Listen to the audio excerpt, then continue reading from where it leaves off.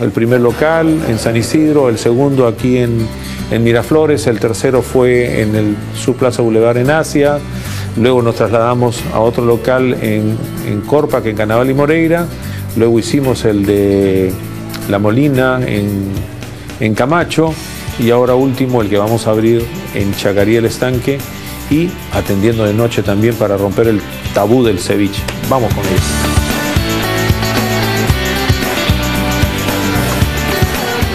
Creo que somos un buen equipo, un equipo muy bien cohesionado y sobre todo con unas metas, una misión de lo que nosotros entendemos por lo que es hacer un buen restaurante donde en él trabajan más de 100 personas. Y lo digo con mucho orgullo, no solo hemos dado trabajo, sino que toda esta gente que comparte conmigo esta esencia de la cocina, nos hemos vuelto un equipo sólido con los cuales eh, podemos eh, disfrutar y servir a, la gente a, a quienes recibimos en nuestros locales, de un restaurante realmente que trascienda en el tiempo. Creo que para ser jefe no es necesario gritar, uno predica con el ejemplo.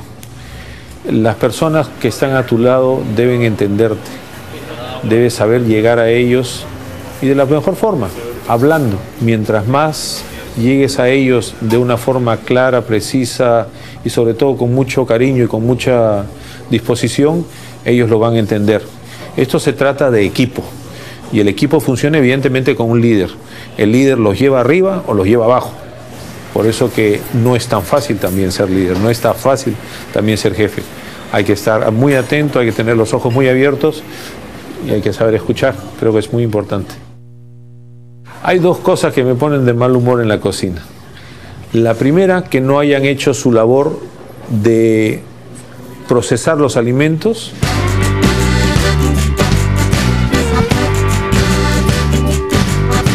Y la segunda, que se pongan nerviosos. Ellos saben hacer su trabajo y bien. Y el nerviosismo juega un papel tremendamente malo en una cocina. Uno debe tener calma, debe tener aplomo y debe estar concentrado en lo que hace. Si no se concentra bien, se corta. Si no se concentra bien, malogra una salsa. Si no se concentra bien, pone o no pone sal.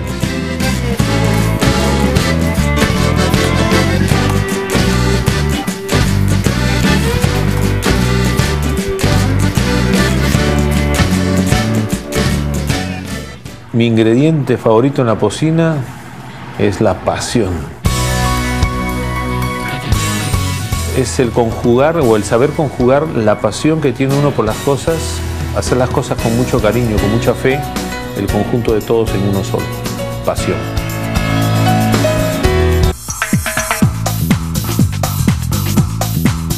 La creatividad del chef puede permitirse muchas cosas. Dentro de un ala tú mantienes tu carta tradicional propia de tu país y te puedes permitir en tu menú poner Adolfo recomienda, Juan Carlos recomienda, Felipe recomienda y ahí comienzas tú a hacer esta, todo este juego de, de- de- de fusiones de productos, de salsas, de ingredientes, donde vas expresando lo que a ti te gusta y que de repente a la gente también le va a gustar, pero no que esto opaque a lo nuestro. Listo, hoy prepararemos un delicioso espaguetini Neptuno. En primer lugar, agua caliente. Vamos a colocarle un poco de sal. Listo. Ya el agua hervida. Vamos, ahora sí, la pasta, como para una porción.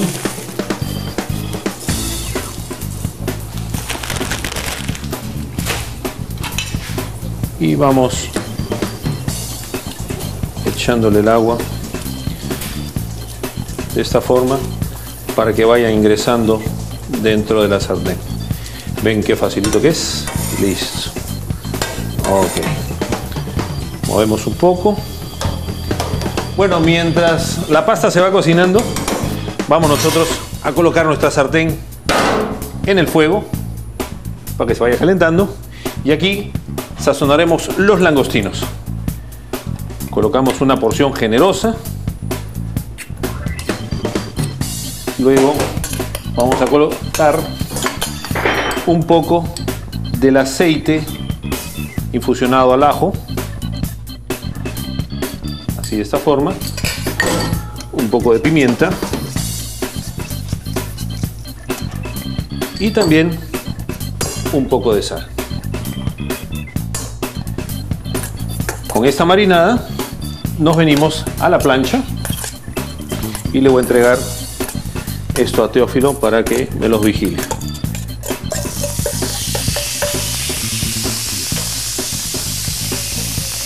Este es un plato que cada elemento que uno va logrando cocinar nos va requiriendo del otro inmediatamente.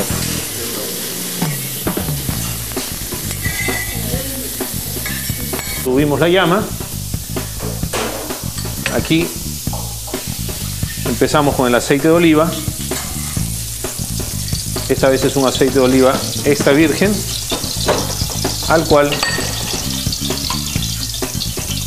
le vamos a colocar los ajos picados finamente. Y los ajos en la parte del centro, sobre todo, para que no amargue. Vamos a dorarlos un poquito, dejarlos ahí que se bronceen un poco y en ese momento subimos un poquito más el fuego para hacer ingresar un tomate con casé.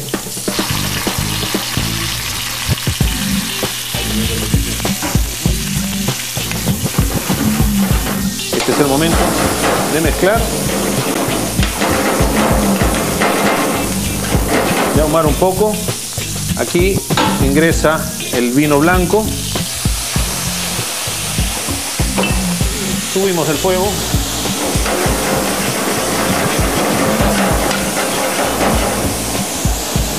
Ok. Luego de este buen ahumado, ¿qué hacemos? Colocamos un poco de caldo de pescado.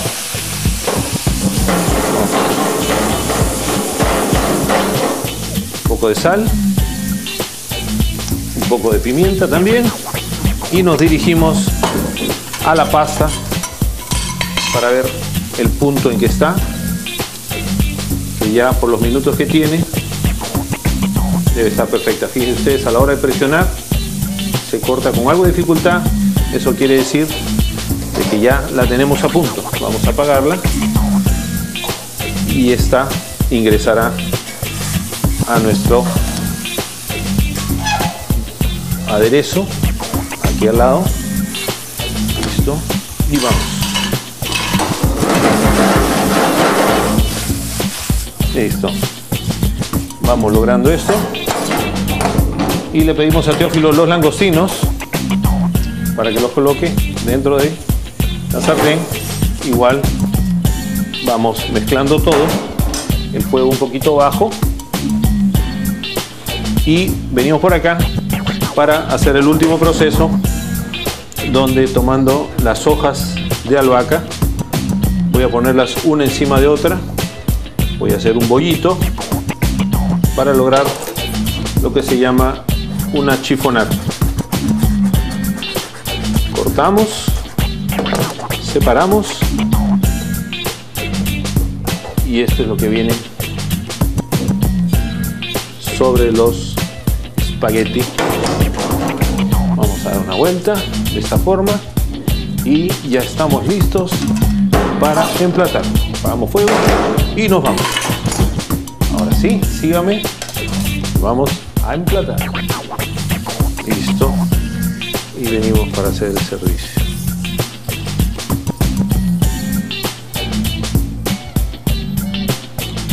De esta forma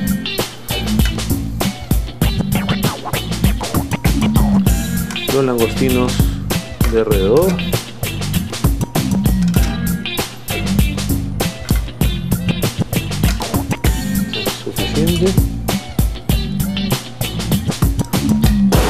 y terminamos decorando con un langostino jumbo aquí en la parte superior y una hoja de albahaca. De esta forma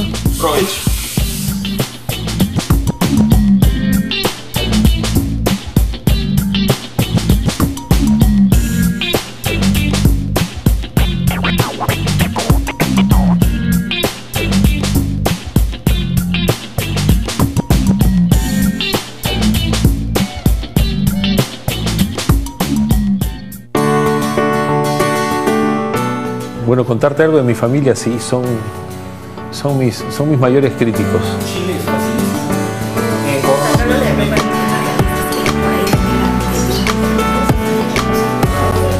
Cuando yo hago platos nuevos, ellos están presentes. Cuando quiero expresar algo mediante la cocina, ellos están presentes. Suelo cocinar los fines de semana en momentos puntuales, aunque ellos me dicen que son días para relajarme y que más bien ellos me dicen, vamos a comer otro lado, yo les digo que no, que lo que más me gusta es cocinarles, porque es una forma de compartir, es una forma de estar juntos, es una forma de hacer familia, de crear familia. Entonces, eso es importante para mí en todo sentido. Las cosas se vienen bien. Y yo, al menos por mi lado, prometo hacer una nueva carta para el verano. Así que necesito mucha ayuda, Jean Paul, al menos contigo. Así que de mis cuatro hijos trabajo con dos actualmente. Y el primero Giovanni, que se encarga de uno de los restaurantes. Después también está Jean Paul, de alguna manera asesorando exteriormente, Nicole, que se ha comprometido a trabajar nuevamente con nosotros, y Christine, que también apoya con, lo suyo, ¿no? desde, su lado. Es decir, los cuatro, junto con Gaby, impulsan mucho lo que hago, impulsan mucho mi ímpetu hacia hacer las cosas lo mejor posible.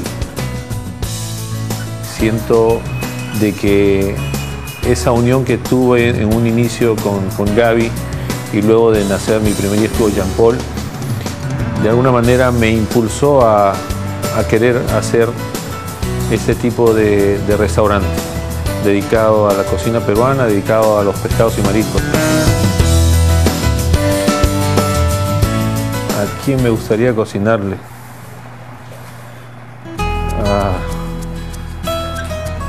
una linda cena a mis padres que ya se fueron. Como haberle cocinado a estos niños tan lindos de Make a Wish. Dos de mis grandes pasiones, la primera es la cocina y la segunda es universitario de deportes. He hecho muchos platos en honor a la U, sobre todo cuando ganaban los campeonatos y los tenía todos ellos reunidos en el restaurante. He tenido la dicha, el goce de haberle podido cocinar a Lolo Fernández.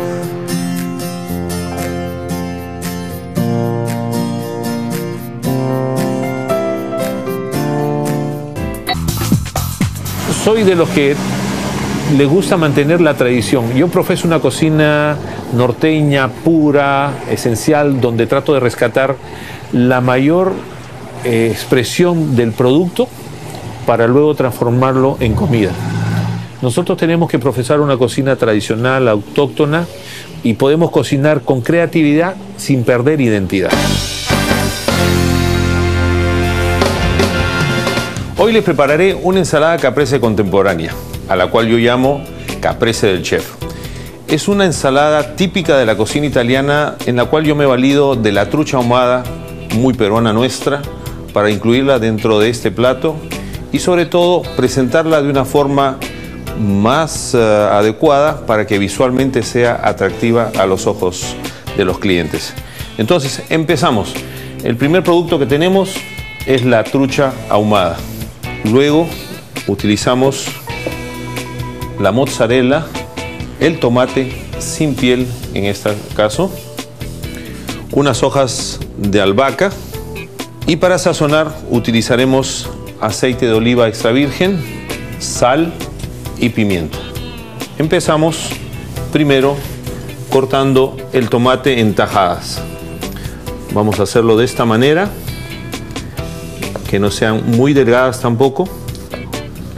Un tomate lo más rojo posible, lo más intenso en color, para que de alguna manera pueda ayudarnos a destacar en el plato, como le dije anteriormente, por su color. Luego, ¿qué vamos a hacer? Tomamos este tazón al cual vamos a verter el aceite de oliva. Luego sazonamos con sal y también con pimienta. En este caso pimienta negra. Vamos uniendo los tres elementos buscando siempre de que la sal se disuelva para que haya armonía en el sabor. Luego que hemos hecho esto, lo que hago yo siempre es colocar el tomate dentro de la sazón. A continuación, lo que voy a hacer yo es tomar un plato y más bien en ese plato echaré un poco del aderezo. ¿Para qué? Para que de esta forma yo pueda lograr colocar la mozzarella dentro y poderla sazonar. Creo que ya debería poner yo el plato aquí al centro. Este otro platito aquí al lado. Y lo que voy a hacer es ir armando ya con los tomates aderezados y la mozzarella. Vamos a hacer este pequeño punto. Va a ir acá. Luego la lámina de trucha ahumada. Vamos a cortarla por la mitad y vamos a ir poniendo un pedazo aquí. Hacemos de la misma forma con otro otra tajadita de tomate, lo propio con la mozzarella, la trucha ahumada. Y así vamos construyendo esta ensalada caprese elevándola hacia las alturas buscando que visualmente sea sumamente atractiva. Y así vamos terminando nuestra caprese del chef. En la parte superior voy a colocar como una especie de sombrerito la parte final del tomate, que es esta. Vamos a ponerla ahí. Luego lo que voy a hacer es, con la ayuda de un palito de bambú, introducirlo al centro de tal manera que esta no se desmorone cuando hagamos el servicio de llevarlo a la mesa. Voy a tomar unas hojitas de albahaca y voy a hacer un rollito. Vamos a hacer lo que se llama una chifonata. Cortamos de esta forma.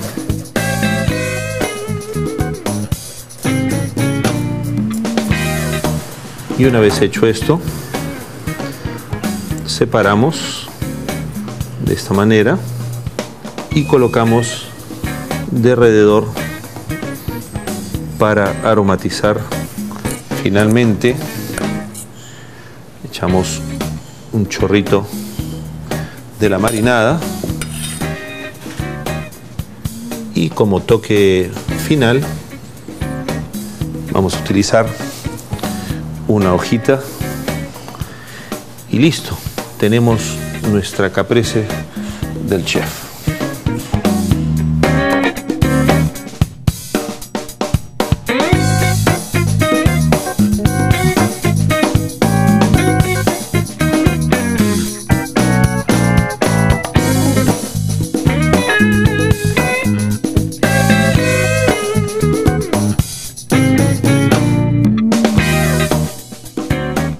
¿Qué le espera a la cocina peruana? Yo creo que muchísimo. Estamos todavía iniciando este gran camino, este gran recorrido por posesionar a la cocina nuestra. Acabamos de recibir un reconocimiento a nuestra cocina como patrimonio cultural de la región. La Organización de los Estados Americanos en reconocimiento a la gastronomía de la República del Perú por su importancia como manifestación cultural le otorga el Premio Patrimonio Cultural de las Américas. Estamos tratando de lograr de que nuestra cocina sea patrimonio cultural inmaterial de la humanidad, lograr de que nuestra cocina pueda estar en todos los países del mundo y que la puedan disfrutar. ¿Por qué? Porque es una cocina llena de tantas expresiones, como lo dije en un inicio, que sus cocinas regionales tienen una serie de platos dignos de ser eh, degustados.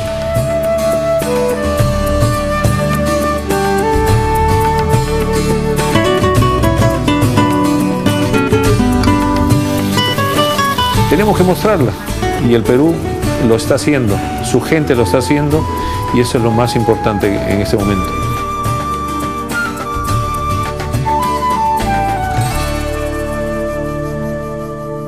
¿Yo qué esperaría de mi, de mi negocio?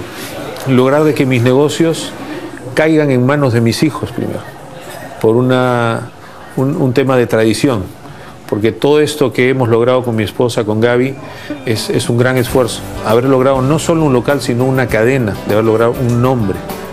Lograr también exportar hacia otras ciudades del mundo, pero sin prisa, pero sin pausa todo tranquilo, no, no pienso agobiarme por ello. Eh, creo que a lo largo de estos años, unos buenos 17, 18 años eh, que he venido promoviendo la cocina peruana en el exterior,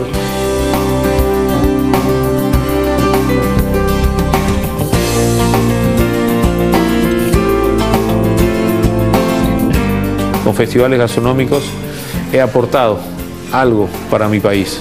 Y creo que uno, de los momentos más felices de mi vida han sido estos últimos años porque eso que he sembrado lo estoy cosechando, lo estamos cosechando.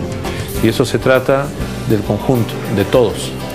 Todos somos Perú, todos vamos para adelante, todos somos país. Así que que nos espere el mundo porque ahí les caemos.